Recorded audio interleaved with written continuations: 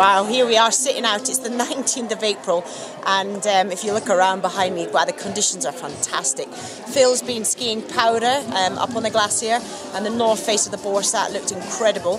I was um, doing some race training with the boys in the morning, and then just free skiing, skiing bumps with them in the afternoon and it is so good. I mean, there's sometimes at the end of the season it gets a little bit too warm, and it is warm in the afternoon, but it's still beautiful. Really, really great spring conditions. Um, so it's our last week, bit of a shame, but um, yeah, what a season it's been. Yeah, it's the last week of our season here in Tignes, but not the last week for Snoworks.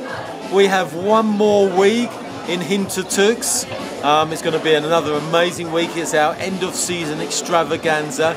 We've got three groups running. It's an all-day, all-terrain, and I do believe there might be two spaces still left on that course. And then we have a break, and then we're back up here on the Tignes Glacier for the whole of July doing race carve, carving courses, junior race, Euro test, race training, and some all-terrain. So if you fancy coming out here in the summer, it's a great time to ski. Um, give us a call.